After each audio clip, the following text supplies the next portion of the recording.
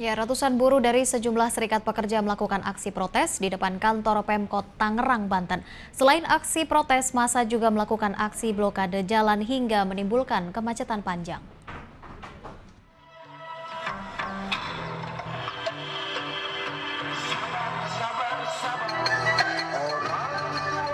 Dalam aksinya, masa mendesak Pemkot menaikkan UMK sebesar 25 persen atau menjadi 3,7 juta rupiah. Sebelumnya UMK ditetapkan sebesar 2,6 juta rupiah. Masa menganggap UMK tersebut kurang layak dengan situasi seperti saat ini. Aksi ini sempat membuat kemacetan arus lalu lintas lantaran masa juga melakukan blokade sejumlah ruas jalan.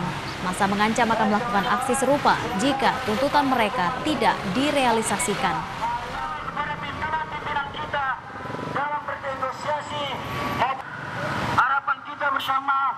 yang diputuskan nanti adalah sesuai daripada